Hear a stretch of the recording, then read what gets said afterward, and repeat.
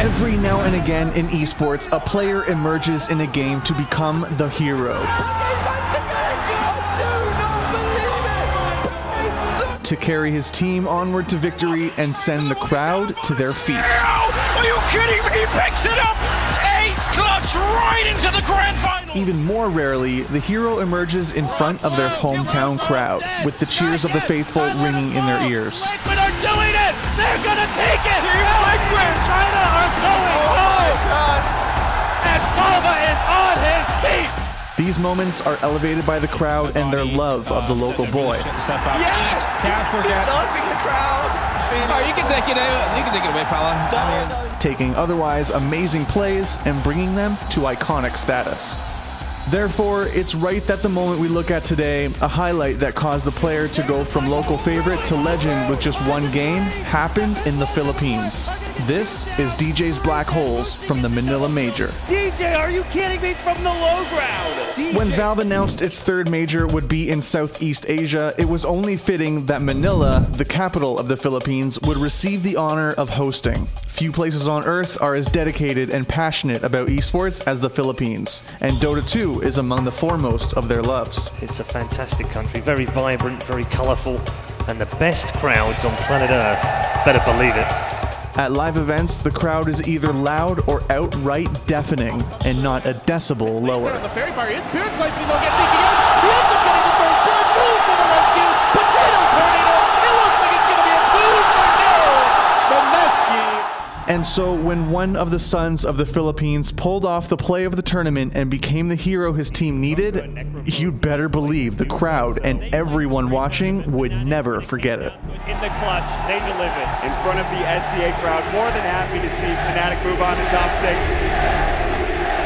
well, this Filipino crowd have a player to cheer for. It may just be one, but one is all it takes. It's time for the main event. On the first day, the Filipino crowd had to watch as Mineski Sports 5 was eliminated from the tournament by Alliance. Throw of a dagger. Down goes the throne. And Alliance move on. They survive. Mineski eliminated here at the Manila Major in front of a hometown crowd. A brutal way to go out, but it does set the stage. Thankfully, there was one SEA representative remaining Fnatic. While the Fnatic roster was mainly Malaysian, there was still one Filipino left on which the crowd could pin their hopes Djardel, Jicko, DJ, Mampusti. With Mineski out of the picture, the pressure was on for Fnatic to deliver. Unfortunately, Fnatic was set to take on the ever threatening LGD Gaming, who had topped their group and were looking to knock the final SEA team into the perilous waters of the lower bracket. I'm not entirely sure what LGD is up to or what they did. I just know that Fnatic is probably stronger than ever right now, and what they need to do is just play their style, draft solid lineups, and just beat themselves, you know. LGD took a confident game one in just over half an hour. You can't doom everyone. He might not even be able to doom anybody. He's going to go down without a doom. They the static storm up. It does nothing to Black Hole. Honda MidOne solo. Fnatic will lose three. None of them have buybacks. They're going to find a fourth, and that is it. GG comes out. LGD will take game number one. Pretty damn good fashion, gods. But Fnatic struck back in game two to draw the series even. Shot to fall. Ravage comes Oh, through. he pulled out like two. Just He's trying to barely. flip. And now he's going to get static storm on top of that. He'll fall instantly. Doesn't have buyback as well. Another Ravage. And he gets it onto three this time. Maybe he's being focused out. The FKB prompts coming through. And he will fall. Dead for 100. 600 aggressive about to go down. GG. Fnatic will take game two. LGD came into the deciding game three hard and fast, taking the fight right to Fnatic and pushing the I tempo early. a lot of damage.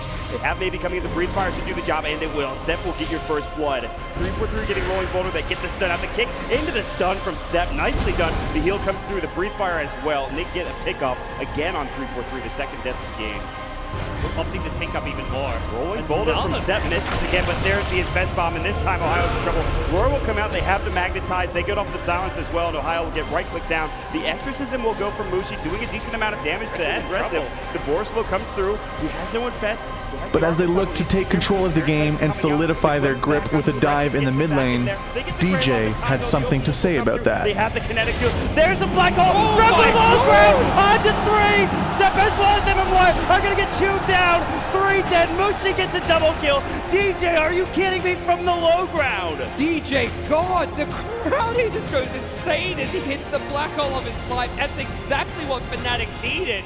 Despite Fnatic's best efforts, LGD continued to push forward with their mid-game power spike, turning up the heat on the fan favorites. Shoot up by the Exorcism, they get off the mech as well as the Shadow Wave, and now Mushi has to go to work on his Shadow Wave instead. He's got no mana to use his Ravage, though. He's in trouble. He gets forced away, and actually, they clips him back. Do they have to damage to chew through Shadow Wave in time? He's got Ravage. He doesn't want to use it. He will, but it catches no one. Mushi's still getting chewed down by Agressif. He gets the Rage and the open moves. They finally get the kill onto two for Fnatic.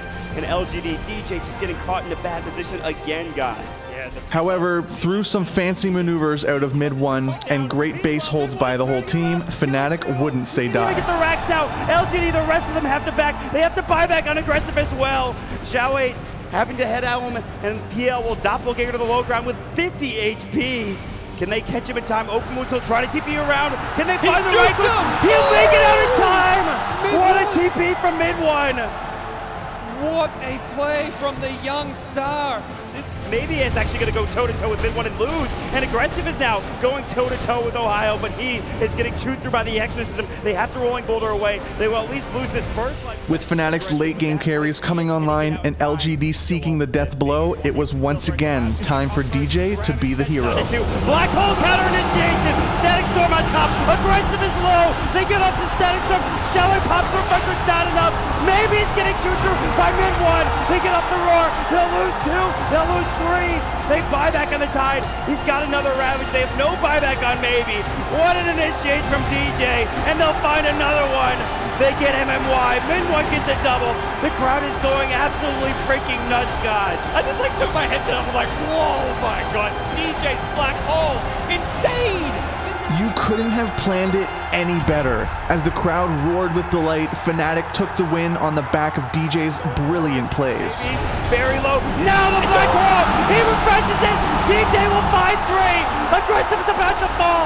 And there it is. They've done it. It's GG. DJ Enigma. What a hero. Fnatic. It seemed like destiny that not only would Fnatic put on a sensational performance, DJ would play the game of his life in front of his hometown fans. Ravage catches on onto two. Black hole counter initiation. Static storm on top. Agressif is low. They get off the static storm. Showing pop through pressure. It's not enough. Maybe it's getting chewed through by MidOne. They get off the roar. They'll lose two. They'll lose three. Very low. Now the black hole. He refreshes it. DJ will find three. Agressif's about to fall. And there it is. It's GG. DJ Enigma. While Fnatic wouldn't win another game for the rest of the tournament, swept out by Newbee and then Team Liquid, in the grand scheme of things, that doesn't really matter. Why? Because everyone loves a hero, and on that day in Manila, the Philippines had theirs, and his name was DJ.